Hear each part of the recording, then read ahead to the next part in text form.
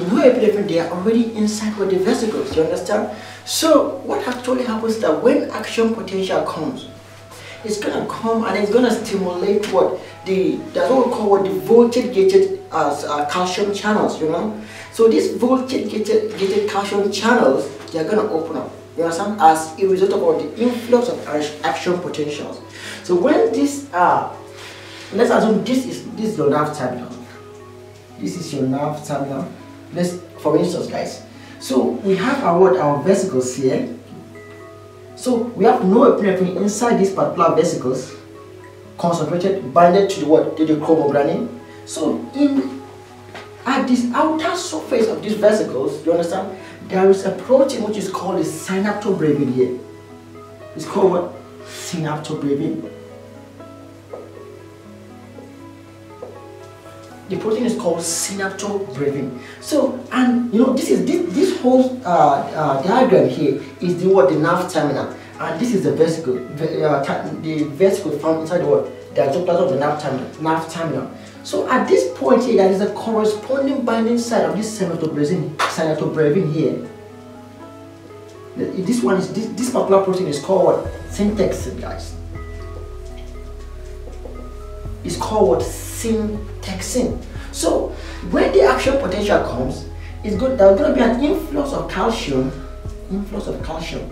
But at this point in time, what does it, the calcium do? What is the role of the calcium in what in the uh, release of these uh, neurotransmitters, guys? So what they do is uh, what at this particular uh, part of this syntaxin is closed, guys. It's closed. This particular part is closed. Where no normally the synaptobrevin will come and bind to this syntaxin it's closed. So what the calcium do, does is that it comes here, it binds to one end of what the syntaxin, or the other one binds to the other end of the syntaxin, and then what will happen is that you know they say what like pole they repel each other, right? Like pole they do what they repel each other. So when this particular uh, calcium binds, they're gonna what repel each other, and it's gonna what open up the the site for this particular one. uh, synaptobrevin to come and bind. You understand? So when it binds, now synaptobrevin will now come and bind to this point here. So when this synaptobrevin binds to this uh, particular syntaxin, it's gonna fuse with the membrane. So when it fuses with this membrane, there's gonna be a, what uh, a change in the conformational change of this particular membrane. You understand? And then eventually, this particular norepinephrine will be what uh, uh, it will be released out of what the, the the nerve terminal through a process called exocytosis, guys. Exocytosis. So what are we saying here? We are saying that once uh, action potential comes, you understand, it's gonna stimulate the opening up of the voltage gated what? Calcium channels. You understand? Once this voltage gated calcium channels, uh, we have influx of calcium. So this this influx of calcium will now facilitate what? The binding of what? The vesicles what? To the internal surface of what? The, the the, the, the internal surface of what? The, the membrane of the nerve terminal, You understand, which now facilitate what? The exocytosis of the norepinephrine. So once norepinephrine is inside the synaptic cleft, you understand? Now let's assume this is nerve terminal, and then we have our our receptors here.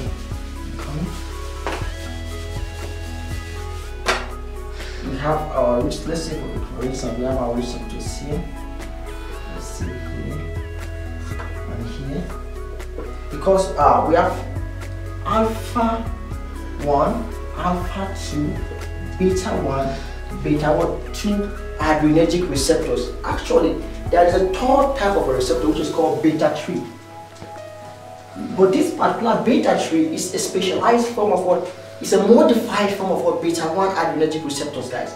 So, assuming we have our receptors here, and normally, in this particular uh, sympathetic neuroeffector junction, because this is a good example of a sympathetic neuroeffector junction, because these receptors could be found in any receptors, guys. It could be vessels, it could be glands, it could be muscles. So it could be found in uh, any receptors. So let's say good, this is our alpha 1 receptor, this is our uh, beta 1, and this is our beta 2. And mostly, guys, the Alpha 2 is mainly found in the what? In the presynaptic membrane, guys. So we have our what? Our alpha 2 receptors here in the presynaptic membrane, guys. So when the when this particular norepinephrine is being released into the what the synaptic, uh, the synaptic cleft, you understand? So it's gonna bind to these receptors, guys. It's gonna bind to these receptors. It's gonna bind to these receptors. It's gonna bind to these receptors, and it's gonna stimulate these receptors, guys. You understand? And depending on where this particular uh, if uh, where the on which effectors these receptors are found, we're gonna see a corresponding what action corresponding to sympathetic what uh, activation, guys. So, but I would like to uh, talk about what this particular uh, alpha 2 adrenergic receptor because it's a very unique kind of receptor. It's, it's like the eyes of what uh, it, it's like the eyes of what the presynaptic uh, the presynaptic uh, uh, neurons. You understand? It's, it, it communicates the concentration of norepinephrine found in the what the synaptic cleft if there is, is if, if it's like an auto-regulatory pathways, understand, in which the what we have a regulation on the concentration of what the norepinephrine guys. So let me let me say something about this particular uh, receptor here. So now this particular alpha 2 receptors is bounded to what G inhibitory proteins guys. You understand? It's binded to it's usually it's, it's coupled, not by it, it is coupled with what? With G inhibitory proteins. So when this particular alpha 2 is stimulated, now the G inhibitory proteins, you understand, is going to lead to what to the hyperpolarization of this particular presynaptic neurons, you understand? And as a result of that, this particular neuron, which is uh, because it's hyperpolarized. Why? Because there is increase in the efflux of uh, potassium out of the cell, thereby increasing the level of electronegativity which is found inside this particular presynaptic what neurons guys so that is the first mechanism in which this particular uh, uh, uh, alpha 2 regulate the concentration of norepinephrine in the presynaptic membrane in the in the in the synaptic cleft guys the second mechanism is that like i told you is coupled with g inhibitory proteins so now when stimulated it's gonna the g inhibitory proteins will gonna is, is going to lead to a decrease in the concentration of what adenylate cyclase, you understand? And once there is decrease in the concentration of adenylate, adenylate uh, cyclase, you understand? There will be decrease in the concentration of what? CAMP. And once there is decrease in the concentration of CAMP, there is also going to be decrease in the what? In the concentration of what? Uh, or, the, or in the activity of what? The protein kinase A, which is a very important enzyme. And this protein kinase A, it plays a very, very important role in the functionality of the enzymes which are uh, which are very important in the synthesis of norepinephrine. What are those enzymes, guys? We're talking about what? The tyrosine hydroxylase. We're talking about what? The dopa decarboxylase. You understand? All these enzymes, they, they, they, this, all these enzymes, they depend on the concentration of what of uh, CAMP. You understand? To facilitate their function. So once this this uh, alpha two is what is in is stimulated, there will be decreased concentration of what CAMP in the what? In the presynaptic what? Cytoplasm. And it will decrease what?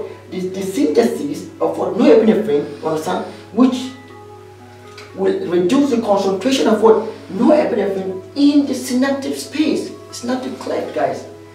So before we continue, I would like us to take a break.